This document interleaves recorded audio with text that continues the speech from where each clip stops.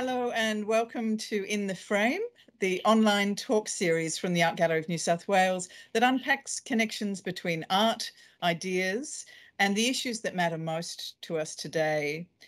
My name is Jackie Dunn, and I'm Special Exhibitions Curator here at the Art Gallery of New South Wales. Before we begin, I'd like to start by acknowledging the traditional custodians of the land on which the gallery stands, the Gadigal of the Eora Nation and pay my respects to elders past, present, and emerging.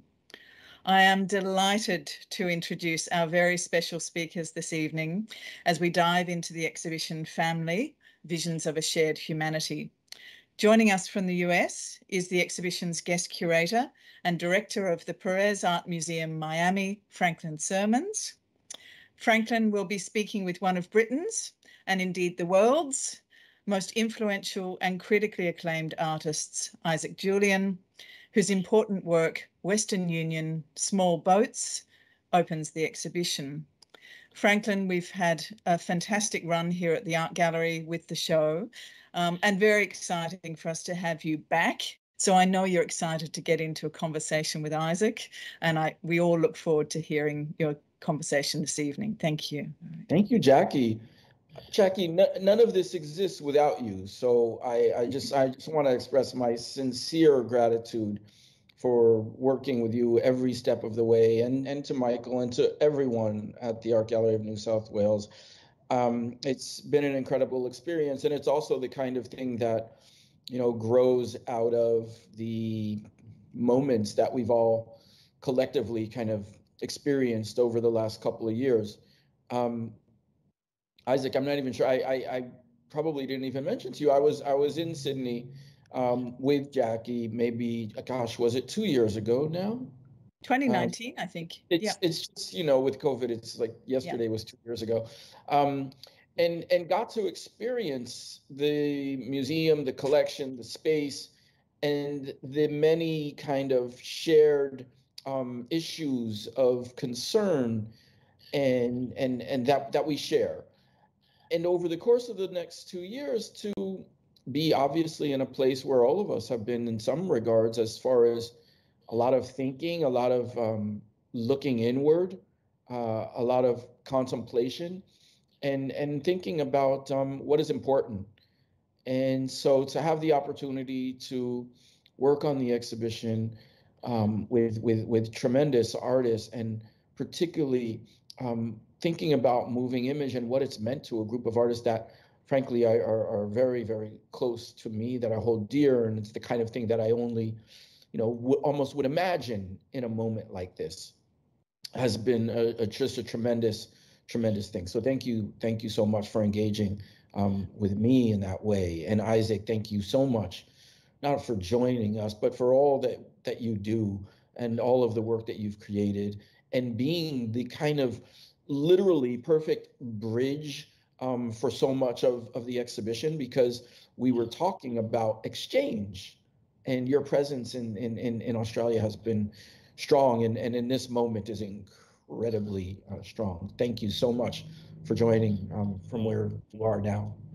It was a great honor yeah. to be um, in this exhibition, um, Franklin. And I have to say, when, when I kind of saw, you know, the amazing sort of artists um, who assembled in the exhibition um, that you created um, at the Art, Gallery of New South Wales. I thought I, I have to see this show, and um, it's a show that I thought it'd be fantastic for it to come to London.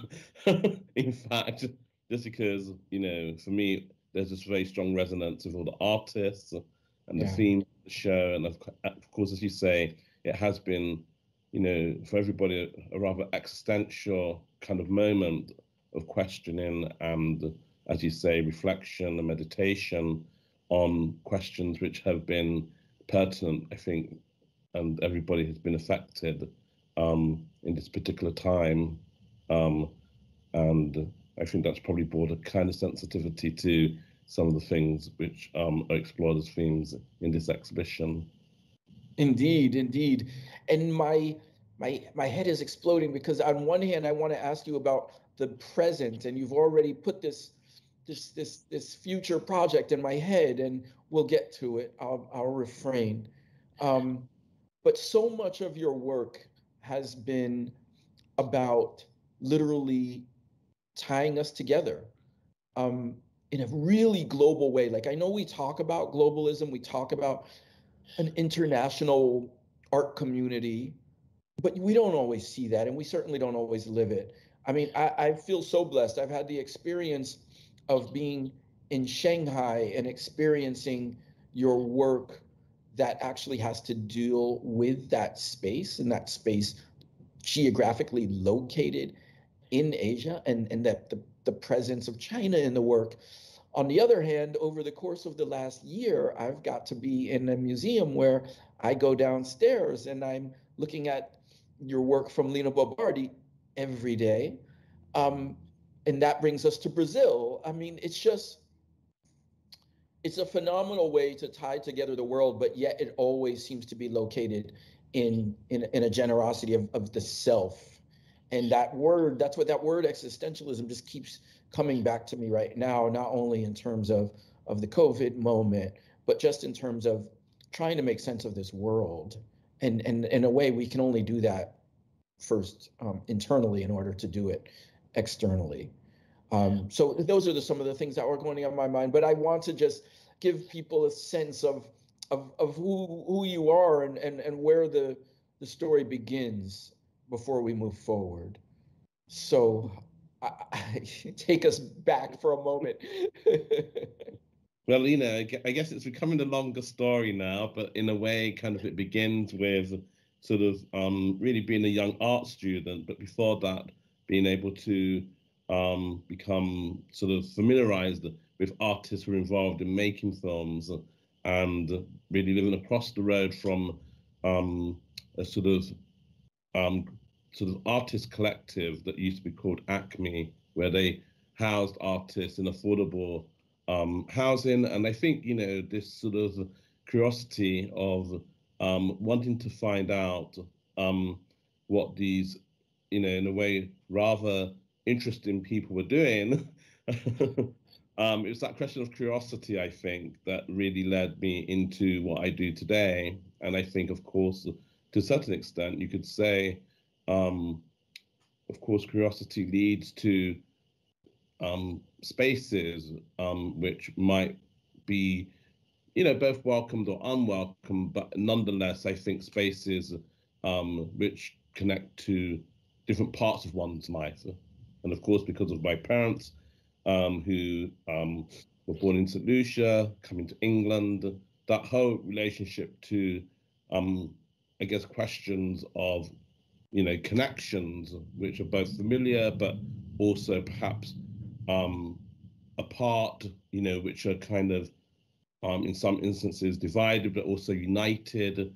Um, you get that sort of intimate relationship between these questions um, which we call transnationalism or globalization, how those affect one in one's own subjectivity um, becomes pivotal in relationship to making work and how certain themes then become themes that you explore your work.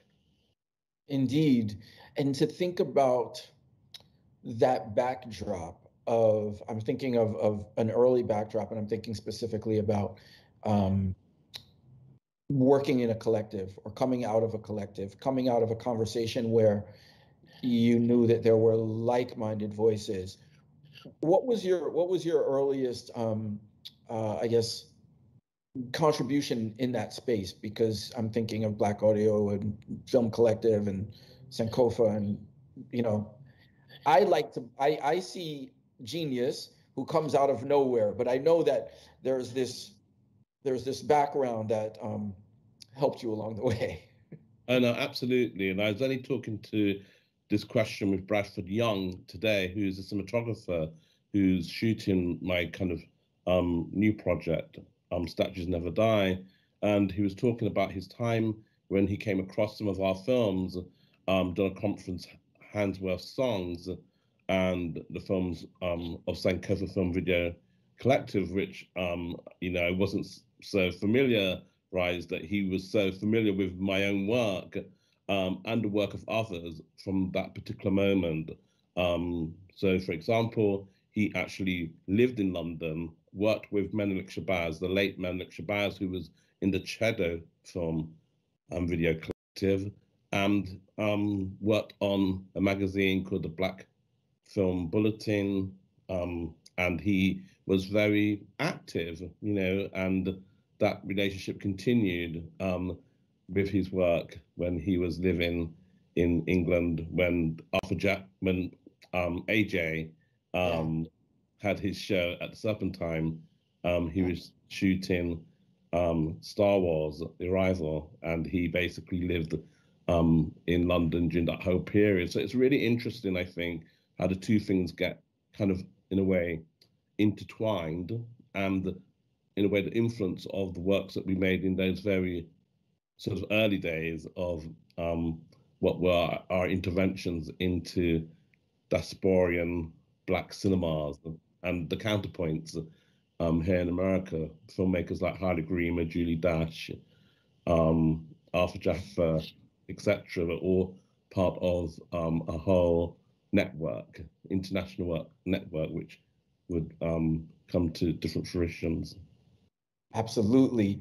And and what what were some of the what were some of the guiding kind of um, themes uh, coming up early? I mean, I know we can can put labels on things at a, at a certain point, but I think a lot of your early kind of um, exposure and training and conversation was often um, led by real life events was was led by the politics around you. Um, can you touch on that a little bit and what it's like to be in London at that moment in which you're in your 20s and becoming the artist that you are?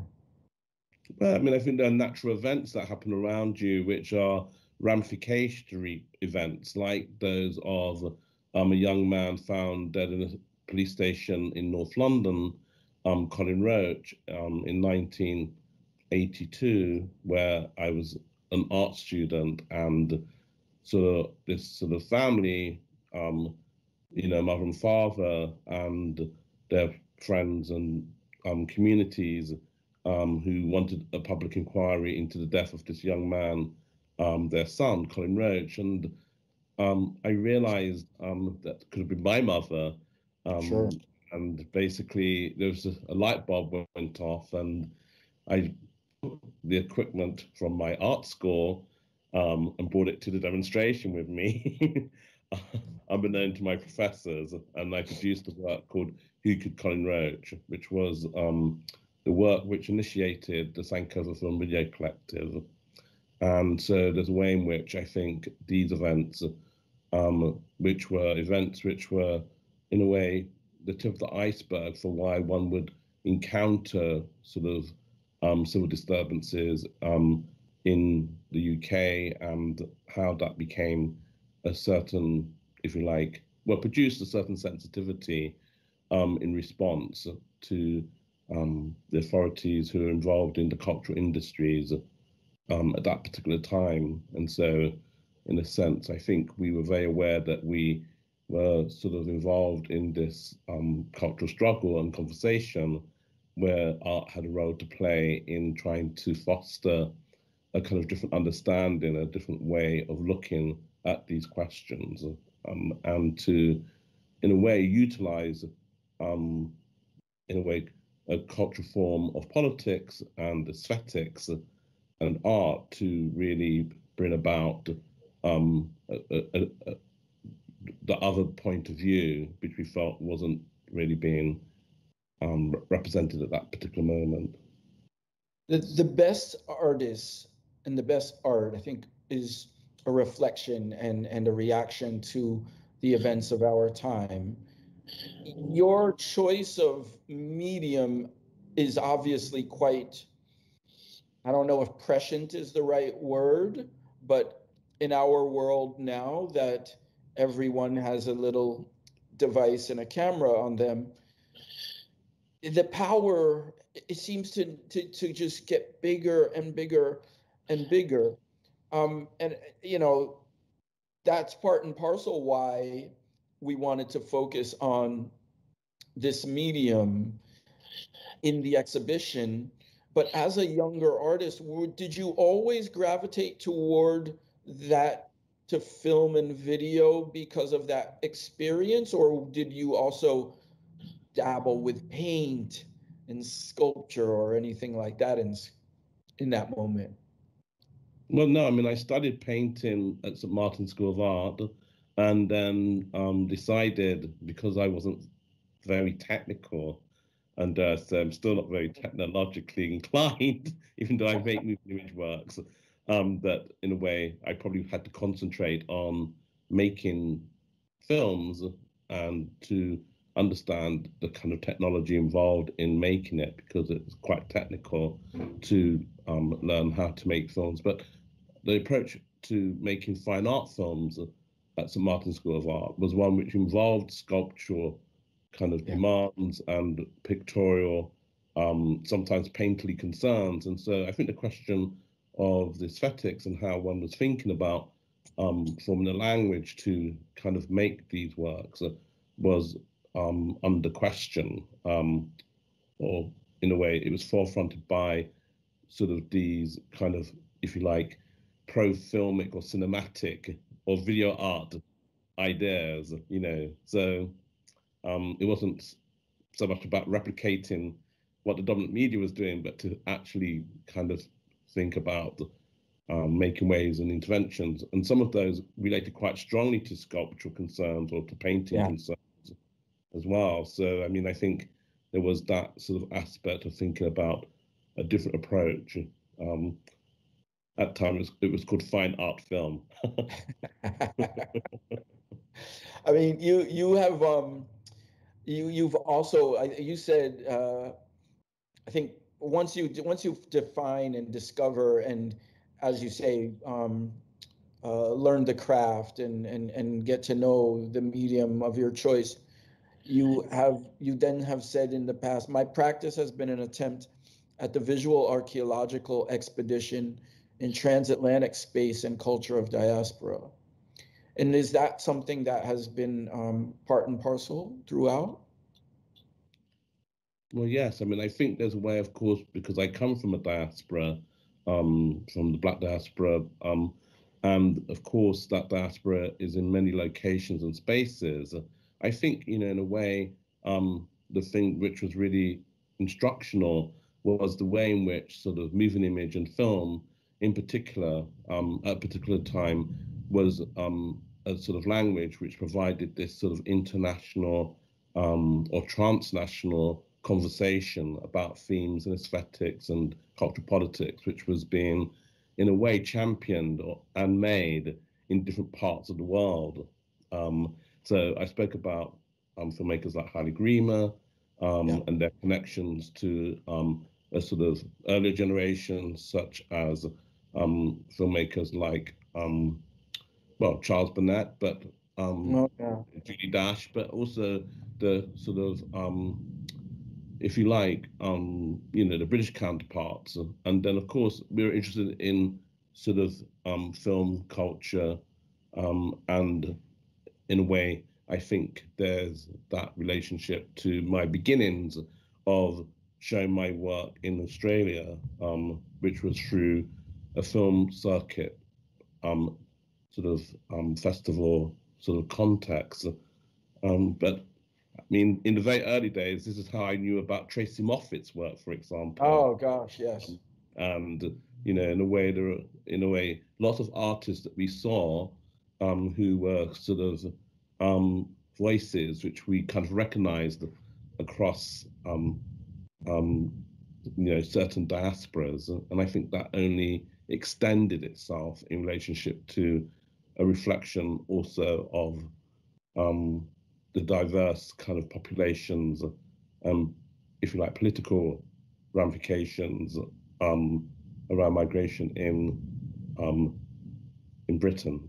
Absolutely, and and I should say, I mean, I so I was at um, the Center for the Arts when Tracy did her uh, exhibition there with Lynne Cooke in uh, what was it, the late '90s, I guess, and and those kind of ties are obviously indelible. And thinking about this space. I mean, when when I was you know, when I was in Sydney, I mean, the parallels that that one finds um, far from home or, or in a global sense are are boundless and and and I just the way that you harness that in the work is phenomenal. Um, let's talk a little bit about Western Union and and tell how did the, the that film um, develop? Well, in a in a way, in two ways. I mean, it developed because of um, the fact that my mother and I used to go to Italy quite often um, for vacations in the summer, and we saw the kind of population of um, sort of people who had been involved in um, the Mediterranean crossings um, become sort of, in a way, more sort of um, prominent. But when I made the work in 2007, this was something which was more localized. It was really, um, I think, becoming aware that um, these questions, which were being brought forward by people like um, Iain Chambers and Lydia and the late Lydia Curti, who were friends of Stuart Hall, who we were introduced to, who taught um, in Naples and were thinking about these questions of the Mediterranean as a space um, of cultural crossings. And I think I was just also very much aware of this kind of change in the population, the resistance to it. And at the same time, thinking about how one could make that become a work that wouldn't be sort of replicating what the dominant media was doing. And so that's where I resorted to thinking about a different set of um, choreographies um, and um, poetic um, narratives that could somehow rearticulate these journeys. Because I think the main issue for me, Dan, was the question of empathy for these, um, you know, people who were making these treacherous journeys. And of course, it was also the relationship to thinking about that um, in a kind of wider context.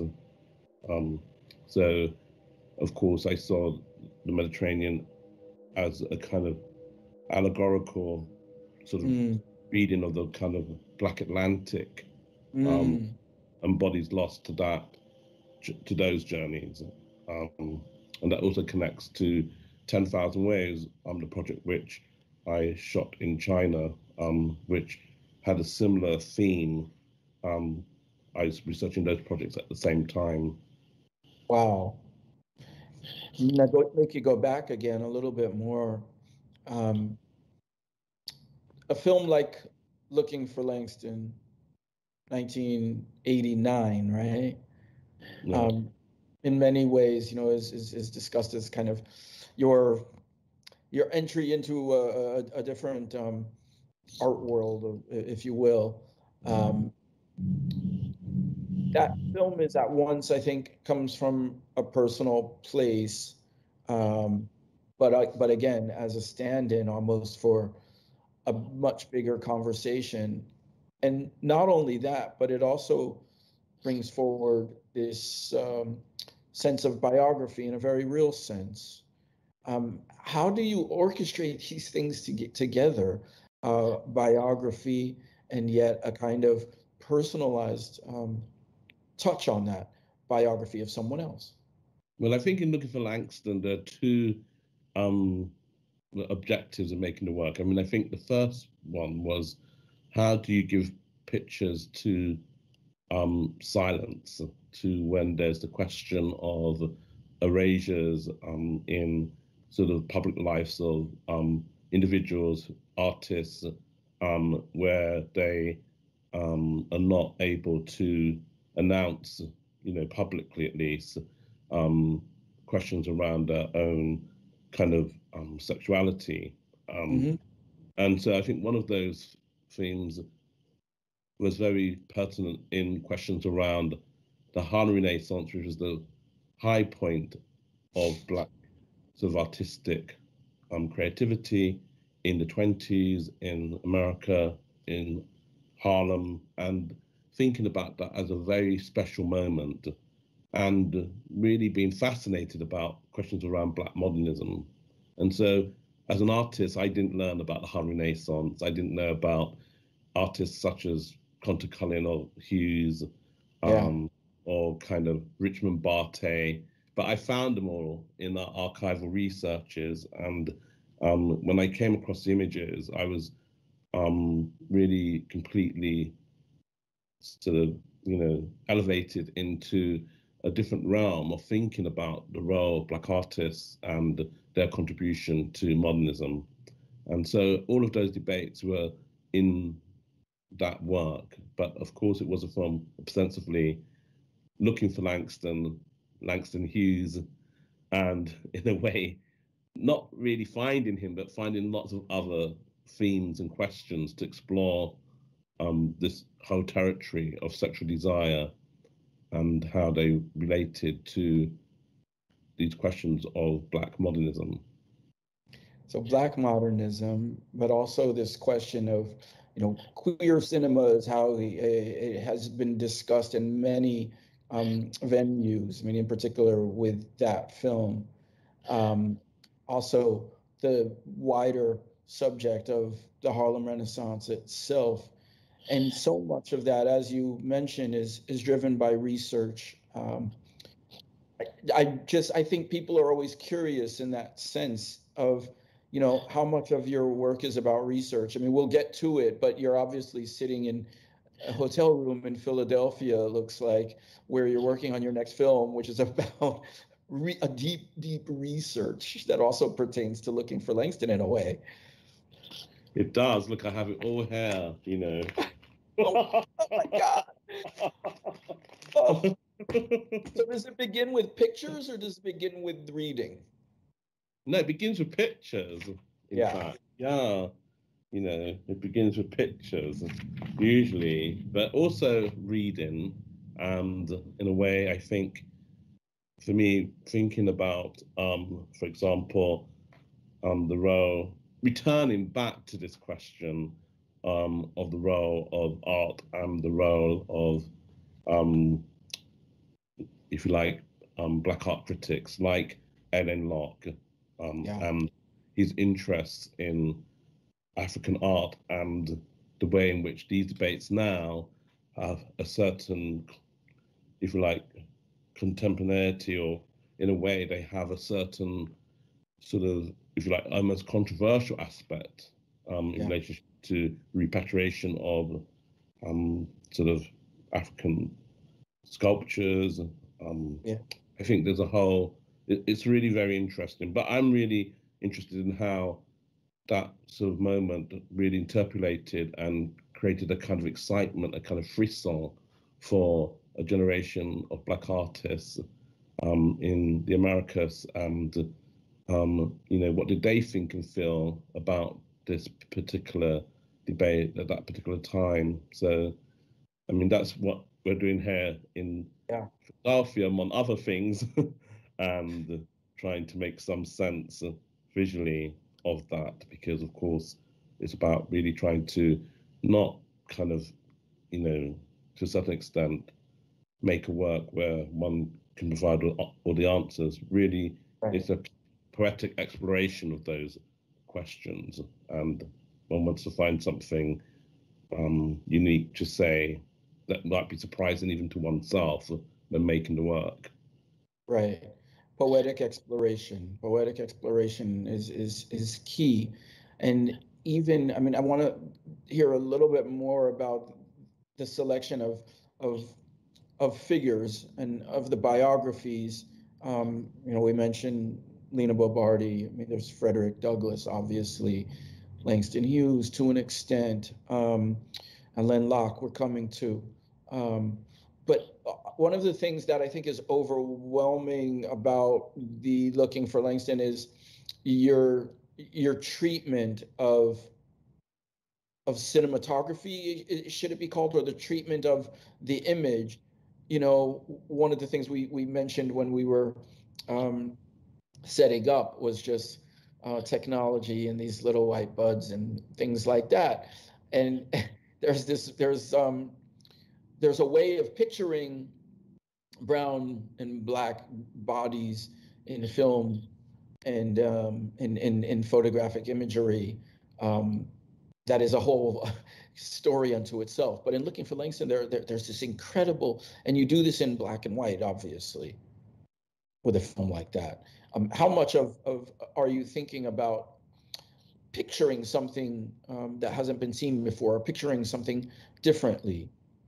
Well, in a sense, you could say that a lot of these sort of questions um, um, have been aesthetically sort of um, um, already sort of positioned for us in by artists such as James Van Der Zee or Roy DeCarava, where basically in photography you have, you know, a lot of these debates. And so, in a sense, all Looking for Langston was do doing was to follow this trajectory and to explore that cinematically. But of course, all of these questions around lighting, I mean, these are all the questions which um, we were in deep conversations across the, the diaspora with yeah. um, artists like Arthur Jafa and Julie Dash.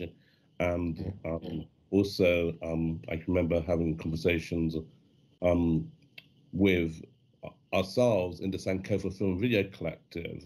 Um, yeah. And in a way, there's a continuation of those questions even today um, in the collaboration of um, Bradford Young um, shooting this project. Oh, yeah. And so I think it's really a crucial component of why the works might look, um, you know, different or may may have concerns which are really connected to these questions, um, questions which go right back to um, those um, which were posed by um, Frederick Douglass, in fact, um, yeah. in his many essays and um, philosophical sort of um, sort of texts on the role of photography um, and and its aesthetics. So I mean, I think it's been something which has been really central to thinking about why things may look different or feel different if they're authored by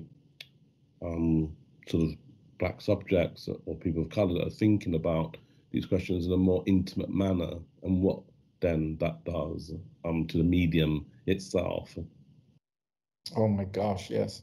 And and and even further, I mean you with Du Bois and and the relationship of um, his usage of, of imagery in in the crisis and him looking back at someone like Frederick Douglass. I mean, you you you have explored um, that space in Lessons of the Hour extensively.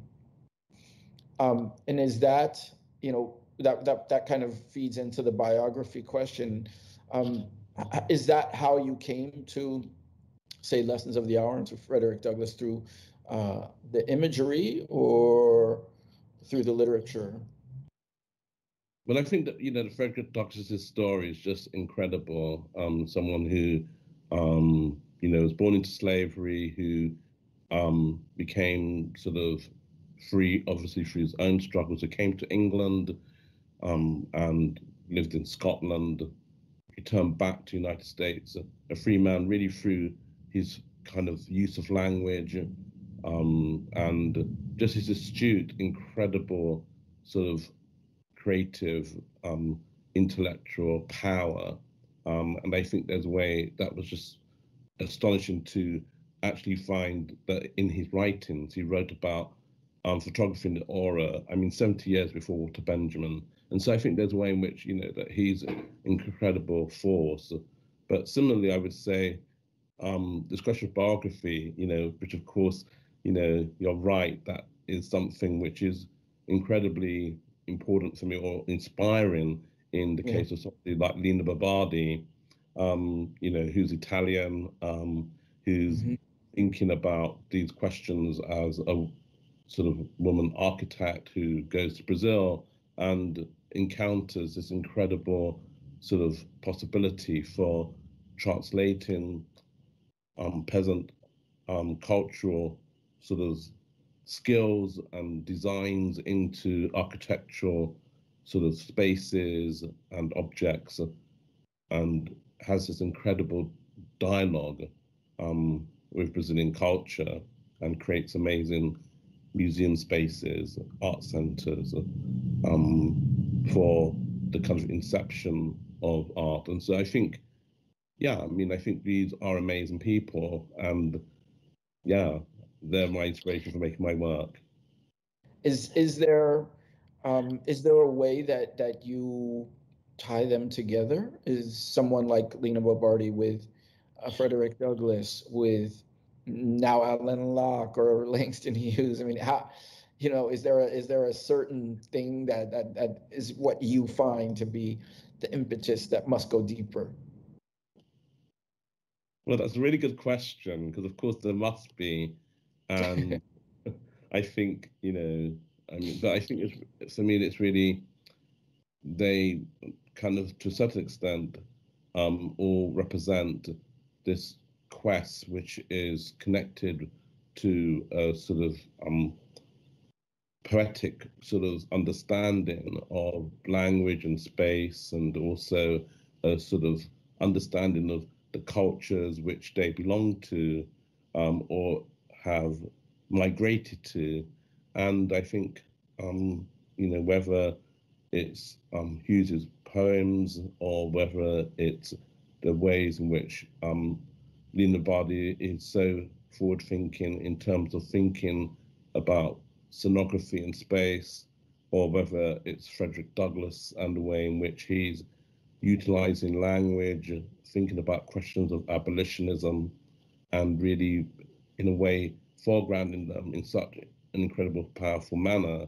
I think, yeah, all of these things are very inspiring, um, and I think all of these things, in in in a way, uh, about movements. You know, yeah people traversing different cultures and spaces, whether through language, um, whether through countries, um, um, and thinking about those things um, really translates into a kind of new possibility of thinking about ways in which culture can be, you know, really a important intrinsic sort of thing for the betterment of things and humanity. Yes. Yeah. The, the, the way the, the way that you do that it also is a way of of of kind of reinforcing the importance of, of the historical in the contemporary. There there are obviously there are so many things that we refuse to learn, no matter how much we read, no matter how much we've seen and then to be able to see works like yours in the present it, it gives a whole other i mean obviously there's a whole other value placed not only on the work that you've created but also on the way that we view the past which obviously we need to learn a lot from. Um, so I, I, we've talked about um, finished works and now you're in the process of of, of creating and it's just wonderful to be able to to capture you in that moment when you are um, in the process. Um, so so you just began filming on do you have a new uh, is it a title or uh, on the new project well the working title is called statues never die but statues i mean titles change quite often it's a kind sure. of um i mean chris marker um made a film called Statues Also Die. Um, so, but it's really looking at this period of um, a return to um, some looking for Langston themes in the form of looking at a black intellectual, Alain Locke, and the way in which he um, wrote the manifesto of um, the black arts, inspired really with an encounter of African art, and then thinking about the contemporary debate around those themes, around the question of um, you know reparations, um, of bringing um, you know African artworks um, back to um, the countries where they were looted, and in a way that's one theme, but it's only yeah. it's it's um, framed by um, the Barnes Museum and the work that um, Barnes had done in his incredible collection. and um, and the way in which that inspired artists at a particular moment to make their works as well. Um, and I just don't think that's been explored really deeply enough. Um, the effects of that in the diaspora and what that means for um, people like ourselves. Um, of course, we know that sort of um, these objects um, which were wrongly taken should be sort of given back, but we also know that that may not be the case for everything. Um, right. You know that we probably need to see these things too, and right. I think surely those objects change once they're relocated um, and signify a difference um, in the same way that they will be changed when they return, so to speak. So signs never remain the same historically. I know that from sort of my sort of various conversations with Stuart Hall that signs are never fixed. They change yeah. and alter in all kinds of ways unknown to us. And so I guess that's one of the things I'm exploring in the work. Um, well, you know, we're we're we're we're talking um, um, about a variety of things, and it's just I feel so so thankful for your time and and being able to just liaise like this. Thank you so much, um, Franklin. Um, no, thank you. Thank you. New South Wales for doing that exhibition I'm just dying to see it. Maybe I'll get to see it. I know. I mean, I just like we're gonna have to figure out a way to do another iteration as well. I believe. I mean, you, know, when you were talking about looking for Langston, and I think about the images, and I'm sure Jackie would agree with me. Uh, it reminded me also of of Garrett Bradley, who's probably the youngest artist in the exhibition, um, and and and it is represented by a piece, uh, America. Uh, in but in this black and white, uh, just so rich in its in its what do you call it chromatic undertones that it's um, a beautiful kind of bookend in a way. Um, your work is one of the first as one encounters the exhibition and right. sets us on our, our, way in many ways. Right. So, thank you wow. so much. Well, an amazing sort of exhibition, and so that's really the your collection and the Art Gallery of New South Wales collection coming together. Exactly. It must be the first time those works would have been shown as well. So it's fantastic to have also Garrett Bradley and those new voices as well. So yes, bravo. it continues. It keeps going.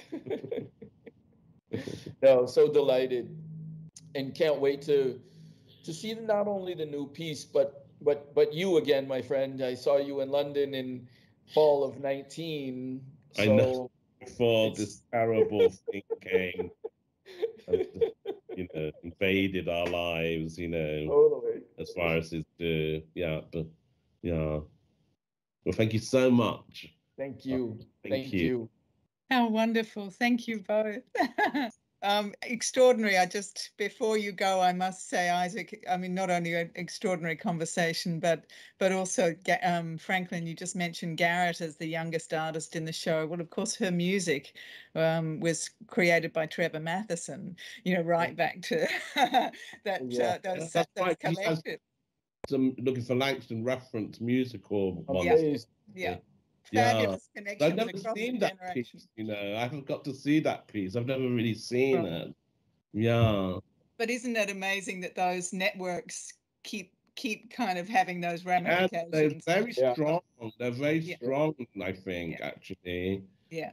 Amazing. You know, um, Bradford Young had just come back from being in Ghana, where he visited um, David, Adjaye and I believe Garrett Bradley went. And I said to um, you know, Bradford, well, we should really show all of these works together. Do you know what I mean? At some point, you know, because obviously, yeah, it's, it's interesting. It's an interesting moment, yeah, of them I going. Think, I think Franklin's uh, Franklin's beautifully brought together so many of those in in this show. You know, that's the sense that we've got of these really rich connections and I am sorry that you both can't be here because what you do feel is absolutely the rhythm and the kind of cadence that Franklin wanted to set up between these sorts of works. It's quite extraordinary. Um, and precisely that desire to have them so that they all of those references and connections bounce off each other. Amazing.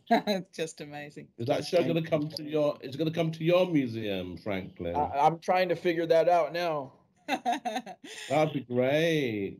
I know. I've heard it looks magnificent. Anyway, congratulations to you both and bravo.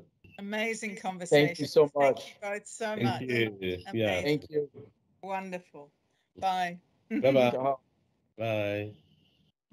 Thanks so much for joining us this evening. Um, or if you're viewing at a later time, I hope you enjoyed the talk. Family Visions of a Shared Humanity is on display at the Art Gallery of New South Wales until 13th of February, and please see the gallery's website for details. The program tonight has been supported by the British Council as part of their United Kingdom Australia season, and in the frame is also supported by Macquarie University and the Art Gallery Society of New South Wales. See you next time.